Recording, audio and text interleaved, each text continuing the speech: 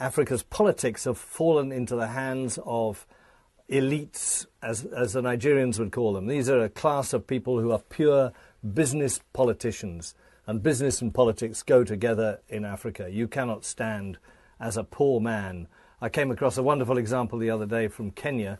Um, where a, a, man who just who cycled around on a bicycle was trying to get himself elected, and the people just laughed at him and they say, "You've only got a bicycle. What can you do for us? We need a big man with a big car with money.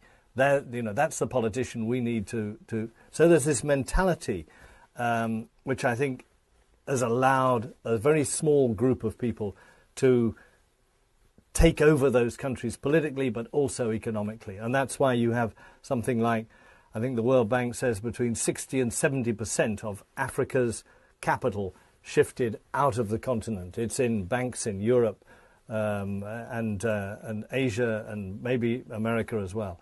But uh, these people just do what the colonialists did, which was suck the wealth out and shift it overseas. And until that changes, that is, until there's a, a, a new generation or even a revolution that actually takes Africa, takes power back to African people, I think those problems, uh, that lack of development, will continue.